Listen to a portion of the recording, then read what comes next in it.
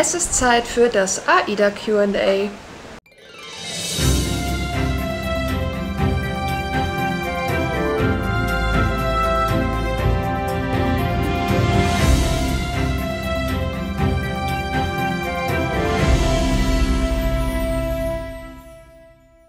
Hallo meine Lieben, dass wieder eingeschaltet zu einem neuen YouTube-Video hier auf meinem YouTube-Kanal und zum AIDA Q&A.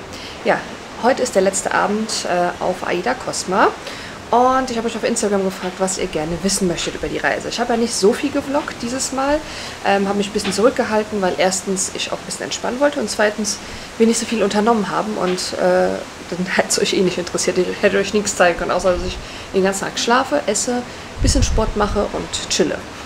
Deswegen habe ich euch nicht so viel äh, Videomaterial mitgebracht, aber dennoch möchte ich ein Q&A machen. Und äh, es gibt ja bereits eine komplette Schiffstour auf meinem YouTube-Kanal vom April. Da könnt ihr euch gerne mal anschauen. Ansonsten beantworte ich jetzt in diesem Video eure Fragen, auch was zu Kosten und so, wo man buchen kann. Ähm, die Sonne ist bereits untergegangen, deswegen wird es langsam dunkel. Also ich weiß nicht, ob ich es komplett hier beenden kann. Ich sehe auch schon den Tede von Teneriffa, weil eigentlich sollten wir morgen früh ankommen, um 7 Uhr, aber jetzt kommen wir schon um 21 Uhr am Vorabend an, weil wir einen medizinischen Notfall an Bord haben. Keine Ahnung, aber ja, auf jeden Fall sind wir dann heute Abend schon wieder zurück auf Teneriffa. Fangen wir an mit euren Fragen. Welche Reise machst du gerade bei AIDA? Wir machen die Kanarentour ab Teneriffa, aber es gibt auch noch die Möglichkeit ab Gran Canaria. Also auf unserer Tour sind Leute auf Gran Canaria und auf Teneriffa eingestiegen und die Tour geht sieben Tage lang, ähm, beinhaltet dann auch zum Beispiel Madeira in Portugal, ähm, Lanzarote, Forteventura. Also ich weiß nicht, ob die Route immer dieselbe ist, aber ähm, ja, ihr besucht auf jeden Fall die Kanaren mit Aida Cosma. Ähm, ich weiß nicht, wie lange es noch geht. Ich glaube so bis März und dann fährt äh, Aida Cosma, glaube ich, in den Mittelmeer. In das Mittelmeer, in dem Mittelmeer, man weiß es nicht. Dann nächste Frage, Altersdurchschnitt, Alternative. Ich sage immer, wenn Schiff, dann will ich auf eine Disney Cruise. Also Altersdurchschnitt ist schwierig zu sagen. Es gibt wirklich alle Alters durch, also alte Altersklassen findet ihr hier auf dem Schiff. Es gibt Familie mit Kindern, ganz, ganz viele aktuell, weil natürlich Ferien sind dann findet ihr natürlich dementsprechend auch die Teenager, die zu den Familien gehören, wenn es welche gibt. Ähm, es gibt aber auch junge Paare, habe ich auch gesehen, aber auch ältere und auch ganz alte Leute. Also auf AIDA findet ihr jeden Altersdurchschnitt. Und ich kann jetzt nicht sagen, es ist vermehrt älteres Publikum. Ähm, auf dieser Reise würde ich sagen, es ist vermehrt Familie mit Kindern.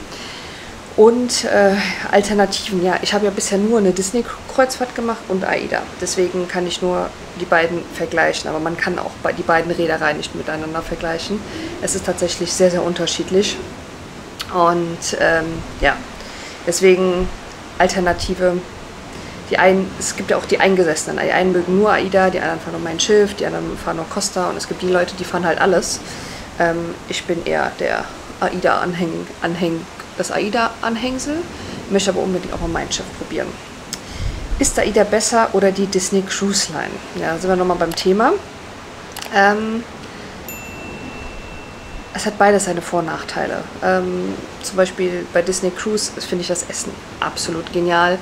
Ähm, auch der Service ist spitze ähm, und äh, ja, natürlich der Disney Touch. Ähm, ja, und bei AIDA ist es schon auch das Entertainment natürlich, das ist deutschsprachig, also das muss man auch dazu sagen, AIDA ist komplett deutschsprachig. Ähm, Disney Cruise ist jetzt nicht deutschsprachig, äh, Disney Cruise ist komplett auf Englisch. Also wenn ihr damit Probleme habt, dann ähm, auf jeden Fall AIDA oder halt Mein Schiff, Mein Schiff ist ja auch deutsch, ähm, fahren. Aber man kann leider nicht sagen, was ist besser. Man muss tatsächlich beides testen und sagen, ähm, man muss auch dazu sagen, natürlich Disney Cruise ist viel, viel teurer als AIDA zum Beispiel. Wenn ihr jetzt mal so eine Mittelmeerkreuzfahrt vergleicht, ist Disney Cruise wirklich sehr, sehr teuer. Und ob das Preis-Leistungs-Verhältnis dann da stimmt, ist auch ähm, schwierig zu sagen. Bucht ihr eine Getränkepauschale? Nein, tatsächlich auf diesem Urlaub haben wir keine Getränkepauschale gebucht. Also es ist tatsächlich bei AIDA so, da kommen wir auch gleich noch zu, was alles äh, im Preis mit inkludiert ist. Ähm, machen wir dann gleich. Also wir haben jetzt auf dieser Reise keine Getränkepauschale dazu gebucht. Das könnt ihr euch optional aussuchen.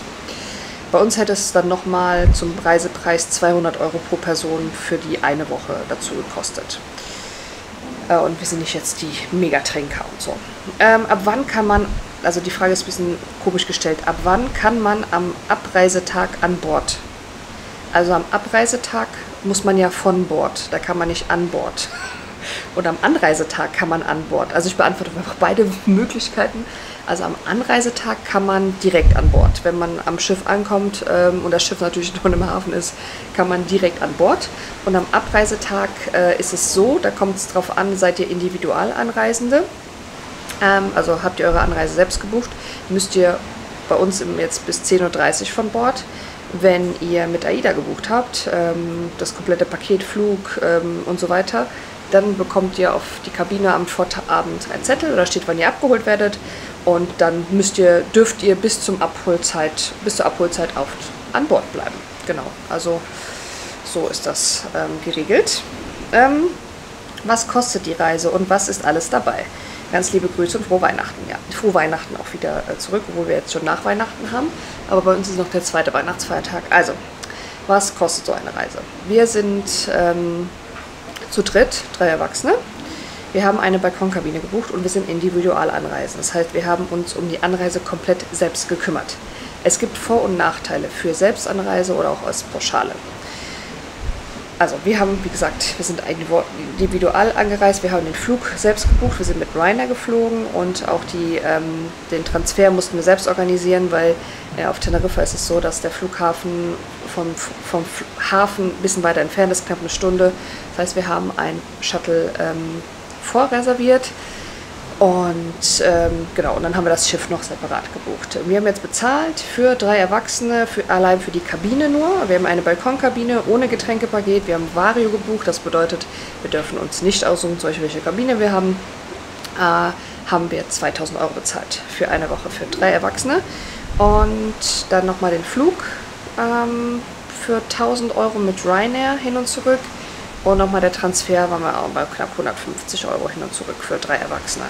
Also sind wir bei knapp 300, 3200 Euro, würde ich jetzt mal über den Daumen gepeilt sagen, für drei Erwachsene für eine Woche über Weihnachten hier auf AIDA Cosmo.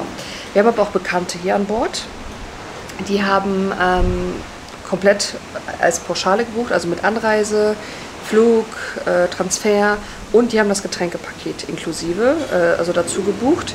Aber die haben eine Innenkabine und sind nur zu zweit und haben 2700 Euro bezahlt. Nur mal so als ähm, Vergleichswert, genau.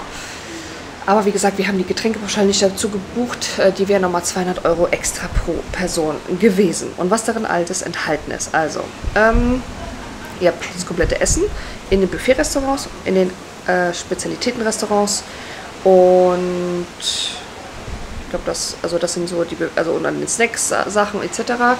Getränke am Tisch sind inkludiert, also Wein, Bier, Softgetränke. Ähm, in den Restaurants, in den Buffet-Restaurants ist inkludiert. Wenn ihr jetzt zum Beispiel zu den Spezialitäten-Restaurants gehst, wie Mama Mia, French Kiss oder Best Burgers zum Beispiel, müsst ihr die Getränke separat bezahlen, außer ihr habt ein Getränkepaket. Ist ein bisschen kompliziert. Genau, dann müsst ihr die, sonst müsst ihr die Getränke separat bezahlen. Im Marktrestaurant, also in den Buffet-Restaurants, wie zum Beispiel Marktrestaurant, ähm, Belladonna und so weiter, sind die Getränke komplett inklusive und könnt ihr euch so viel nehmen, wie ihr möchtet. Ansonsten, was natürlich sonst inklusive, die ganze, das ganze Entertainment, die Shows, ähm, die Kinderbetreuung, also es gibt Kids-Clubs und so weiter. Das ist alles auch inklusive. Ja. Fällt mir noch was ein? Wenn ihr übrigens noch mehr Fragen habt, könnt ihr die gerne auch unten in die Kommentare äh, stellen. Ähm, eine machen wir noch, da müssen wir aber leider weiter. Wie ist das mit, ist das, wenn man das, wenn da Kind abends schlafen und, also wenn das Kind abends schlafen muss, möchte, kann man da noch was trinken gehen? Geht das? Ja, es ist ja euer Kind, also ihr könnt das Kind natürlich, wenn es alt genug ist, auf der Kabine schlafen lassen und dann nochmal rausgehen und dem Kind dann sagen, okay, wenn du irgendwie aufwachst oder so, keine Ahnung. Also das müsst ihr natürlich als Elternteil entscheiden ähm, ob ihr das Kind auf der Kabine lasst ähm, oder nicht. Also das kann ich jetzt hier schlecht beantworten. Also generell geht das, natürlich. Ihr könnt euer Kind auf der Kabine lassen und dann nochmal eintrinken gehen. Aber manchmal sind die Wege recht weit von der Kabine bis zur Bar. Ähm, ja, deswegen weiß ich nicht, ob ich es machen würde. Keine Ahnung. Eine Frage, die mir auch gestellt wurde, ist AIDA was für Kinder? Und ganz klare Antwort, auf jeden Fall ist AIDA auch was für Kinder. Es gibt so viel Programm. Es gibt erstmal die Teens, also es gibt erstmal die Clubs. Für jedes verschiedene Alter gibt es Clubs. Äh, hier auf AIDA, ich glaube bis 17 Jahre ab Baby. Also es gibt sogar einen Mini-Club. Und äh, auch äh, jeden Tag wird verschiedenes Programm für die Kinder geboten und auch in den Kids-Clubs jetzt generell. Was genau? Ich habe immer mitbekommen, es gab einen Alien-Tag, ähm, weil ähm, ja, eine Bekannte hier mit ihren, ihrer, ihrer Tochter war, die ist sechs. Und da gab es mal einen Alien-Tag, aber auf jeden Fall wird den Kindern hier nicht langweilig. Hier ist einmal der Fun-Park. Den habe ich im Rundgang auch mal ausführlicher gezeigt, als hier keine Kinder waren. Schau mal. Ja, hier sind gerade Kinder. Aber hier ist auch die Wasserrutsche, glaube ich, geht hier durch. Hier können sie klettern. Ähm, ja. Dann gibt es natürlich hier die Wasserrutschen.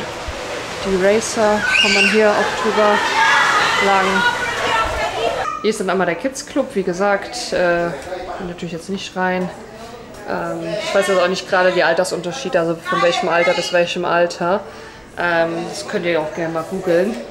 Aber ja, hier steht Clubbies Ahoy, wie gesagt. Ähm, da, ach ja, Tagesprogramm für Kids. Morgen zum Beispiel auf Teneriffa. Steht jetzt hier von 8 Uhr bis 9.45 Uhr. Hier stehen noch über die Alters, äh, ähm. Also Seepferdchen 3 bis 5, Delfine 6 bis 8 und Sharks 9 bis 11. Das ist jetzt der Kids Club. Und dann haben wir hier zum Beispiel äh, Familienspielzeit. Wir werden zu Detektiven, hier die Seepferdchen, Schlaumeier-Quiz, wer ist der größte Schlaumeier? Köpfchen haben wir, kannst du das Rätsel lösen, wie schlau bist du? Ähm, ja, alles mögliche. Probe, Youngstars, die AIDA Kids und Teens Talente. Ja, also sie steht dann immer hier ausgehangen. Es gibt auf jeden Fall genug Programm für die Kinder. So, machen wir weiter mit der Fragerunde. Ich habe mich jetzt mal ganz dekadent hier auf eine Treppe gesetzt. ähm, auf unserem Deck 15, weil, ja, in den anderen Bars natürlich noch Menschen und hier laufen bestimmt auch gleich Menschen vorbei. Gucken komisch, aber ja, jetzt habe ich mich mal hingesetzt. Ich habe hier so Vibes wie früher bei einer ersten Disney-Cruise ähm, in Norwegen. Da saß ich auch immer am Ende der Vlogs immer auf der Treppe und habe die Videos beendet. Ähm, genau, so, wo waren wir denn? Die Frage, wo buchst du deine Kreuzfahrt? Also, äh, die Kreuzfahrt haben wir jetzt über äh, die Susi gebucht, die Bohai Travel. Kann ich euch gerne unten in der Infobox verlinken, ähm, ihre Instagram-Seite und auch ähm, ihre Telefonnummer. Ihr könnt ja auf WhatsApp schreiben, wenn ihr Interesse habt. Sie sucht euch die Reise raus, ähm, pauschal äh, oder individuellen Reisen, wie ihr das möchtet. Das könnt ihr mit ihr besprechen. Ihr müsst aber kein Reisebüro dafür kontaktieren, wenn ihr nicht möchtet. Ihr könnt natürlich auch direkt über AIDA buchen, über die Webseite. Dort könnt ihr auch mit Flug buchen oder individual einfach nur die Kabine buchen. Geht alles und da könnt ihr euch natürlich anschauen, welches Schiff fährt wo, welche Routen gibt es. Und es gibt wirklich sehr interessante Routen bei AIDA, muss ich sagen. Und äh, genau, das könnt ihr dann da auf AIDA selbst auch direkt buchen. Haben wir auch schon oft gemacht, äh, auch direkt über das Reisebüro. Wir haben auch schon persönlichen AIDA-Reiseberater gehabt, da haben wir auch schon einiges gebucht. Ähm, genau, also ein wilder Mix bei uns. Die nächste Frage, bekommt man in den Kabinen viel von anderen Gästen oder von Partys auf dem Schiff mit? Ähm, einmal, also wir haben eigentlich immer mit Balkon offen geschlafen, jetzt die ganze Reise über. Einmal habe ich was mitbekommen, obwohl ich mit äh, Earpods immer einschlafe, wegen meinem Head, äh, Podcast. Ich höre immer zum Einschlafen Podcast. Da bin ich in fünf Minuten eingeschlafen. Und einmal habe ich was gehört, das war ein Heiligabend, von Heiligabend auf den ersten Weihnachtsfeiertag. Ich weiß nicht, ob ich es geträumt habe oder wirklich jemand gegrölt hat, ähm, irgendeinen irgendein Christmas-Song die ganze Zeit wiederholt. Ähm, es gab auch viele Jugendliche hier ähm, während der Reise, die natürlich dann auch einen, gerne mal einen über den Durst getrunken haben. Ähm, ansonsten habe ich wirklich ähm, keinen, wirklich ähm, ich musste kurz pausieren, weil ein Kind an mir vorbeigelaufen ist, was ich natürlich nicht zeigen möchte und äh, in die Kamera geguckt habe, weil es so neugierig war. Also, ähm, nee, ansonsten bekommt man nicht viel mit von den Gästen. Klar, von den Nachbarn, wenn man auf dem Balkon sitzt und die auch im Balkon sitzen, dann hört man das mal oder hören sie reden, aber ansonsten hört man nicht wirklich viel. Und vor allem, wenn man die Balkon Balkontür auch zumacht, es gibt ja auch eine Klimaanlage, äh, man muss nicht unbedingt die Balkontür aufmachen, halten. Wie sind die Preise? Das habe ich schon erwähnt für eine Außenkabine. Ansonsten müsst ihr auch mal auf der Website gucken nach Preisen. Unterscheidet sich natürlich von Ferien, von äh, Reiseroute, von Schiff etc. Also fließen natürlich viele Faktoren ein in den Reisepreis. Kostenüberblick bitte. Gern auch die günstigste Variante der Tour, die ihr gerade macht. Also ähm, die günstigste Variante ist natürlich unter den, also nicht in den Ferien. Ähm, genau, also einfach mal gucken, wann Deutschland keine Ferien hat und da mal nach den Preisen im Internet schauen. Man muss immer vergleichen. Oder ihr fragt halt die Susi, ähm, wie gesagt, unten in der Infobox verlinkt äh, und sie sucht euch dann den günstigsten Preis. Was ist der Unterschied zwischen Premium und Premium All-Inclusive? Also es gibt ja bei AIDA Premium und Vario-Tarife, die man buchen kann. Premium bedeutet, äh, die sind dann direkt verfügbar. Also es gibt ja Reisen, glaube ich, bis 2025. Und Premium könnt ihr dann direkt von Anfang an buchen. Und dann habt, könnt ihr euch die Kabine aussuchen. Ihr habt dann, glaube ich, immer Wasser auf, dem, auf der Kabine. Und ich weiß nicht, was noch in alles inklusive. Ich glaube, Frühbucherrabatt etc. Und ähm, Vario ist im Prinzip, das wird dann ein paar Monate vor der Reise freigeschaltet und dann ist es auf jeden Fall günstiger. Ihr könnt euch aber nicht die Kabine aussuchen und äh, zum Beispiel bekommt ihr nicht das Wasser auf, äh, auf, die Kabine. Das haben wir jetzt zum Beispiel. Wir haben einen Vari-Tarif gebucht, ähm, ein paar Monate vor der Reise. Ja, was ist der Unterschied zwischen Premium und Premium All-Inclusive? Also Premium ist das, was ich immer erklärt habe. Und Premium All-Inclusive, da habt ihr im Prinzip dann die Getränke mit dabei. Das ist der Unterschied. Ähm, was gefällt dir am besten an AIDA? Ähm, ich muss sagen, ich mag dieses familiäre, dieses... Ja, man ist direkt ähm, in Kontakt mit so vielen Menschen und ähm, ja, keine Ahnung. Es ist, wäre wär ich wahrscheinlich für meine erste Kreuzfahrt auf mein Schiff gegangen, wäre ich jetzt wahrscheinlich mein Schiffliebling. Keine Ahnung, weiß ich nicht. Auf jeden Fall ähm, bin ich gerne auf AIDA. Ich mag das Programm, was geboten wird. Es ist ein guter Mix. Ähm, Entertainment, ähm, jeder findet hier was zu essen. Ähm, für Familien ist es was, aber auch äh, nicht unbedingt, also für jede Altersgruppe ist es was. Deswegen, ähm, ja, gefällt mir halt AIDA irgendwie am besten. Aber wie gesagt, wäre ich jetzt als erstes auf mein Schiff oder so gegangen, wäre ich vielleicht auf mein Schiff hängen geblieben. Aber es ist halt so. Was ist alles inklusive? Das habe ich, schon mal, hab ich schon mal erwähnt. Was kostet so eine Weihnachtsreise? Ja, habe ich auch gesagt. Ist es da nicht zu laut? Ja, das kommt natürlich an, drauf an, wo ihr euch aufhaltet. Wenn ihr euch jetzt am Seetag ähm, am Pooldeck aufhaltet, wo gefühlt alle Familien da sind mit Kindern, die natürlich im Wasser, Wasser planschen oder im, jetzt im Beachclub, dann ist es sehr, sehr laut. Ja, also nehmt euch dann vielleicht Earpods mit oder Kopfhörer mit Noise Cancellation, weil es kann sehr, sehr laut sein. Aber es gibt natürlich auch Bereiche auf dem Schiff, die etwas ruhiger sind, wo dann halt nicht so viele Menschen sind, vor allem auch an Seetagen. Also an Seetagen verbringen die meisten Menschen die Zeit entweder im Theatrium, beim Sport, im Spa oder halt an den Pool oder Außendecks, wenn das Wetter passt. Wenn es natürlich, wenn äh, regnet, dann wahrscheinlich nicht. Ansonsten ähm, ja, gibt es halt natürlich äh, schon Bars und Ecken, wo es ein bisschen ruhiger ist.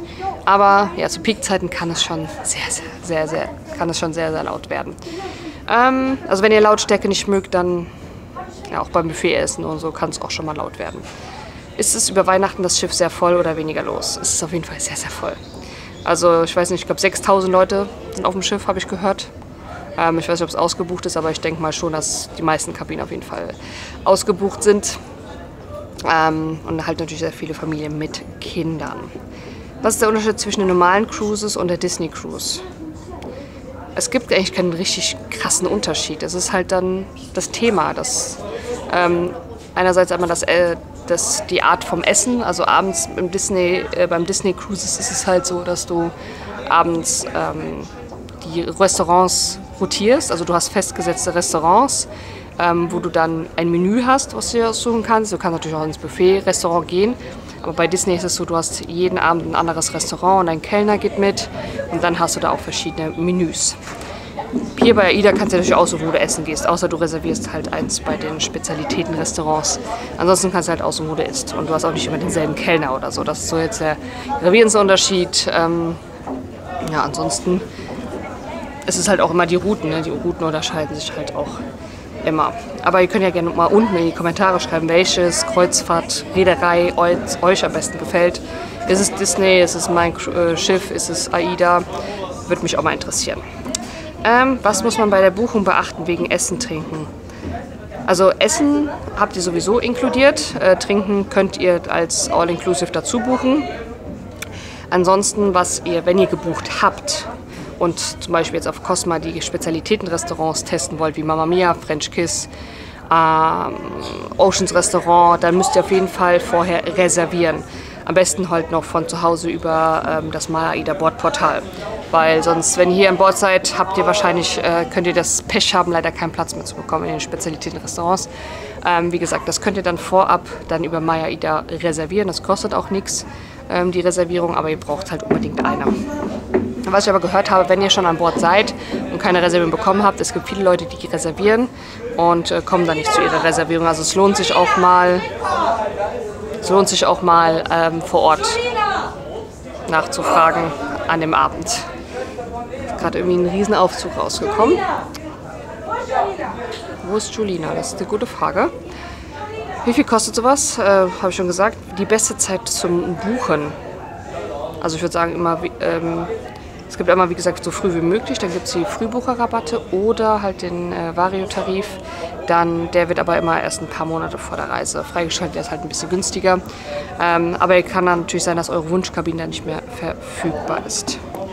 Glaubst du, dass eine AIDA-Reise auch was für Kinder ist? Das habe ich schon beantwortet. Ja, das waren eigentlich so eure hauptsächlichen Fragen hier von, äh, für, von meiner AIDA-Reise. Wie gesagt, ähm, wir werden auf jeden Fall in naher Zukunft auch wieder eine AIDA-Reise machen. Also kann ich mal verraten. Näheres kommt dann bald. Ähm, ja, irgendwie sind wir hier hängen geblieben. Ähm, wir haben ja die Susi auch getroffen. Also die war ja auch hier mit ihrer Familie, die vom, von dem Reisebüro, ähm, die ich euch empfehle. Die war hier auch mit ihrer Familie und wir haben auch kurz gequatscht und so. Und sie reist auch mit Cosma und Mein Schiff war sie auch schon und MSC. Und äh, sie sagt auch, Geschmäcker sind verschieden ähm, muss man halt einfach mal testen, so eine Kreuzfahrt. Ähm, es gibt ja auch Routen, so Anfängerrouten, zum Beispiel Hamburg oder Kiel, die Metropolen, da kann man auch mal gucken, ist das was für mich, so eine Kreuzfahrt? Mag ich es auf dem Schiff zu sein? Äh, Werde ich seekrank? Äh, übrigens seekrank, man hat hier nichts vom Wellengang ge äh, gespürt. Auf ich muss jetzt mal kurz äh, die Location wechseln, weil es auch dann auf der Treppe sehr laut wurde vor den Jugendlichen oben. Also Seekrankheit. Ähm, ich habe gar keinen, fast gar keinen Seegang hier gemerkt. Ähm, es war sehr, sehr ruhig, der Atlantik hier. Es gibt natürlich Routen, wo es mehr Seebewegung gibt. Ähm, aber hier jetzt die Kanaren waren sehr, sehr ruhig, muss ich sagen. Aber es kann sich natürlich immer ändern. Also es ist jetzt kein Garant, dass es hier immer ruhig ist. Ähm, ja, aber ich bin auch nicht, leider nicht an, also ich bin nicht, zum Glück nicht anfällig für sowas. Ähm, deswegen bin ich die falsche Person, ähm, sowas zu fragen. Ob ich seekrank geworden bin oder so, weil mir wird bei, bei keinem irgendeiner Sachen irgendwie schlecht. Ja, das war's. Das war das Q&A hier von Aida Cosma. Ähm, ich hoffe, es hat euch gefallen. Wenn es euch gefallen hat, lasst bitte einen Daumen nach oben da. Abonniert den Kanal, drückt auf die Glocke und dann sehen wir uns ganz bald wieder. Ciao.